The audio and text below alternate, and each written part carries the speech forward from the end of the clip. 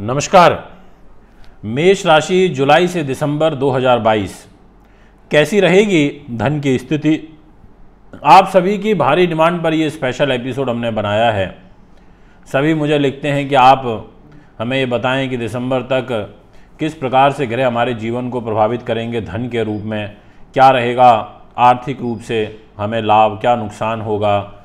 तो उस डिमांड को आपकी स्वीकार करते हुए मैं ये एक बड़ी भविष्यवाणी आज अपनी वीडियो के माध्यम से करने जा रहा हूँ और आपको अवगत कराऊँगा इस आगामी जुलाई से लेके दिसंबर तक मेष राशि के सभी श्रोता किस रूप में प्रभावित होंगे और सेकेंड हाउस जो धन का होता है, परिवार का होता है, हमारे धन के संग्रह का होता है, वाणी का है, आँख का है, नाक का है, चेहरे की खूबसूरती का है, इतनी तमाम चीज़ों का ये स्थान होता है। ये आपको और हमें किस प्रकार से फल देगा, ये मैं आज की इस वीडियो में आपसे चर्चा करूँगा। तो जुड़े रहिए और वीडियो को पूरा देखिए, अंत तक देखिए। काफ़ी इंटरेस्टिंग वीडियो आज ये रहने वाली है। उससे पहले आपको बता देना चाहता हूँ कि मैं दिनांक 25 से लेकर के और 30 जून तक मुंबई में उपस्थित रहूँगा। आप वहाँ मुझे कुंडली बनवाने के लिए, दिखाने के लिए पूजा पाठ व रत्नों के लिए संपर्क कर सकते हैं। दोस्तों, मेष राशि। इस राशि के स्वामी होते हैं मंगल ग्रह। और जुलाई के महीने में मंगल की जो स्थिति रहेगी, वो बड़ी महत्वपूर्ण है, क्योंकि मंगल एक तो अपने ही घर में रहेंगे, सबसे पहली बात, पूरे महीने रहेंगे। पर क्योंकि हमें धन की स्थिति की बात करनी है और किसी भाव के बारे में आज मैं आपसे चर्चा नहीं करूँगा, धन के स्वामी बनते हैं शुक्र महाराज। और शुक्र ग्रह इस महीने में, जुलाई में, दिनांक 12 तारीख तक, जी हाँ, दिनांक 12 तारीख की रात तक अपने ही घर में पैसे पर बैठे हैं बुद्ध के साथ में बैठे हैं। तो यह जो बुद्ध की और सूर्य की युति है, बड़ी ज़बरदस्त रहेगी बुद्ध की और शुक्र की, और ये आपके आर्थिक रूप से समृद्धि के लिए बड़ी अच्छी रहेगी। यदि जुलाई के महीने में पहले बारह दिनों में आपको विशेष रूप से कोई आर्थिक लाभ पत्रिका के अंदर दिखाई देता है। आपको वाणी से, संगीत से, आपको अगर स्पोक्स पर्सन हैं, पढ़ाने लिखाने का काम है, आप ग्लैमर इंडस्ट्री में हैं, आप फ़िल्म लाइन में हैं, आप कॉस्मेटिक चीज़ों का काम करते हैं होटल रेस्टोरेंट लाइन में हैं, आपके लिए काफ़ी अच्छे फल यहाँ पर देखने को मिलेंगे। और स्वयं आपकी राशि के स्वामी अपने घर में हैं और फिर मंगल यहाँ पर मज़बूत स्थिति में देखे जाएँगे। इसके बाद दिनांक तेरह तारीख को आपके धन के स्वामी शुक्र राशि परिवर्तन कर लेंगे और इनका राशि परिवर्तन करके मिथुन में जाना, ये जो समय रहेगा, आपके लिए थोड़ा सा यहाँ पर तनावपूर्ण रह सकता है। आपको आर्थिक समृद्धि रुक रुक करके होगी, इसलिए दिनांक 13 जुलाई से लेकर और यह जो 6 अगस्त तक का समय रहेगा, इस दौरान आप थोड़ा सा ध्यान रखें, संयम पूर्वक कार्य करें। ज़्यादा हतोत्साहित होकर के कोई कार्य मत करिएगा। ये मैं आपसे कहना चाहता हूँ। बाकी बाकी पैसा आता रहेगा और सामान्य गति से आएगा, क्योंकि शुक्र धन को लेकर के किसी शत्रु के घर में नहीं जा रहे हैं। जा वो अपने मित्र के ही घर में रहे हैं, यानी कि बुद्ध के घर में, तीसरे स्थान में। तो आपको अपने दोस्तों से भाई बहनों से फाइनेंशियल सपोर्ट मिलेगा, यदि आप उनके माध्यम से कोई मदद लेना चाहते हैं तो। इसके अलावा जो आपकी राशि है मेष, इसके स्वामी मंगल, दिनांक 10 अगस्त को वृषभ राशि में आ रहे हैं, ये एक अच्छी बात है। अब 10 अगस्त को मंगल आ जाएँगे पैसे पर, अपनी मेष राशि से दूसरे स्थान में तो यहाँ 10 अगस्त से धन की स्थिति को मंगल संभाल लेंगे। आपको डेयरिंग वर्क से पैसा आएगा, आपको, आप वाणी से ओजस्वी हो जाएँगे और परिवार के साथ ज़रूर थोड़े से यहाँ पर मतभेद बनेंगे।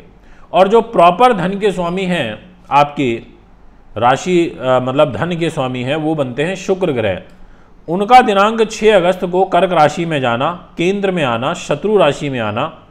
तो एक तरीके से ये 6 अगस्त से लेकर के और 24 सितंबर तक ये 6 अगस्त से लेकर के और लगभग लगभग मान करके चलिए कि एक महीने लगभग 6 सितंबर तक जो ग्रह गति रहेगी, इसमें शुक्र धन की स्थिति को फ्लैक्चुएट करेंगे, उतार चढ़ाव में लेकर के आएँगे। पर जैसा मैंने बोला कि मंगल आपके पैसे पर बैठे हैं तो वो काफ़ी हद तक संभाल लेंगे। अब यहाँ पर परिस्थितियाँ बदल जाएँगी और वो दिनांक 6 सितंबर को बदलेंगी सिंह राशि में जाने से। आपके धन के स्वामी शुक्र ग्रह जब त्रिकोण में आएँगे, पंचम भाव के ऊपर आएँगे आएँगे ज़रूर शत्रु राशि में पर फिफ्थ हाउस में आ रहे हैं और पंचम भाव भी पैसे का होता है। तो यहाँ आने से ये आपके लिए परिस्थितियों को पॉजिटिव कर देंगे।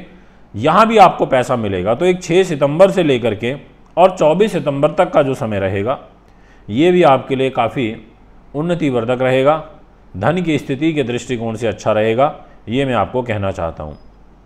एक चीज़ और है जिसका आपको विशेष रूप से ध्यान रखना है, वो ये कि 24 सितंबर को आपके धन के स्वामी, शुक्र ग्रह नीच के हो जाएँगे रात को नौ बज के तीन मिनट पर।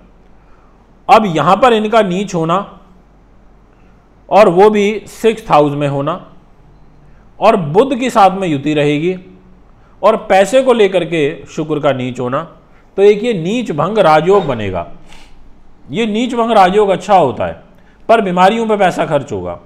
तो ये जो महीना रहेगा, इसमें आपके लिए मिला जुला सा धन आएगा, जो मैंने आपको तारीख बताई 24 सितंबर से लेकर के और 18 अक्टूबर तक। इस समय में आपको विशेष रूप से पैसे का लेन देन सोच समझ के करना है, स्वास्थ्य का विशेष रूप से ध्यान रखना है, हाई रिस्क आपको नहीं लेने हैं। वैसे जैसे मैंने आपको कहा कि नीच भंग राजयोग बन रहा और राजभंग नीच भंग राजयोग पैसे के लिए अच्छा होता है, इसलिए बहुत ज़्यादा डेंजरस सिचुएशन तो नहीं बनेगी, पर फिर भी आपको यहाँ थोड़ा सा ध्यान रखना पड़ेगा। आपके लिए जो सबसे उत्तम समय रहेगा, वो है 18 अक्टूबर से लेकर और 11 नवंबर तक। ये जो समय है, आपके लिए विशेष फलदायी है। जी हाँ इस दौरान शुक्र ग्रह धन भाव के स्वामी होकर के सप्तम भाव पर आ जाएँगे। और सप्तम भाव में उनकी युति बनेगी केतु के साथ में। तो ये जो शुक्र की युति बनेगी केतु के साथ, ये युति आपके लिए काफ़ी लाभप्रद रहेगी, ये मैं आपसे कह देना चाहता हूँ। तो ये समय ऐसा है जिसमें आपको ज़बरदस्त गेन होगा और वो भी 11 नवंबर तक होगा। इसलिए मैं कहना चाहूँगा कि आपको जो भी बड़ा काम करना है, आपको लगता है तो वो इस दौरान करिएगा।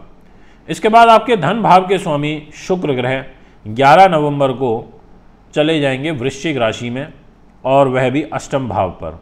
अब अष्टम में इनके जाने से ये फिर एक बार धन की स्थिति को गड़बड़ करने की भूमिका में आ जाएँगे, और ये फिर पाँच दिसंबर तक समय आपका ऐसा ही चलेगा, जिसमें वृश्चिक राशि अष्टम भाव पर इनका गोचर हो जाएगा। ऐसी स्थिति में आपको फिर सोच समझ करके पैसा खर्च करना है बीमारियों पर धन खर्च होगा, इनकम आपकी सीमित हो जाएगी और पैसा आपका ज़्यादा खर्च होगा। आपके लिए पाँच दिसंबर से लेकर और महीने के अंत तक ये समय आपके लिए विशेष रूप से अच्छा रहेगा, क्योंकि इस टाइम पर आपके धन के स्वामी भाग्य स्थान पर आ जाएँगे और भाग्य के घर में भी मज़बूत स्थिति में होंगे।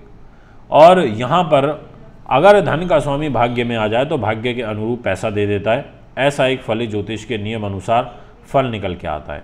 तो मैं कह सकता हूँ, बिल्कुल निसंकोच भाव से, कि आपके लिए परिस्थितियाँ काफ़ी फेवरेबल हैं पॉजिटिव हैं, इसमें किसी प्रकार का कोई दो मत नहीं है।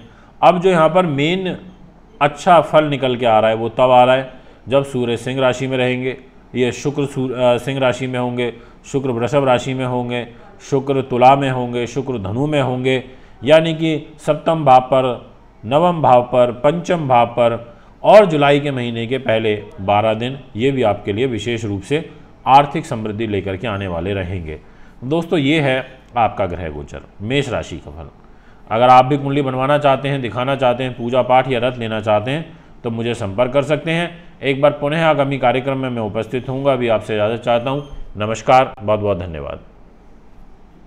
दिखाने, पूजा पाठ व रत्नों के लिए संपर्क करें। Nine eight double nine triple eight four double three seven zero double one eight zero five four six one. आप सभी के लिए एक खुशखबरी। ज्योतिषाचार्य मानविंदर रावत जी 25 से 30 जून मुंबई में रहेंगे।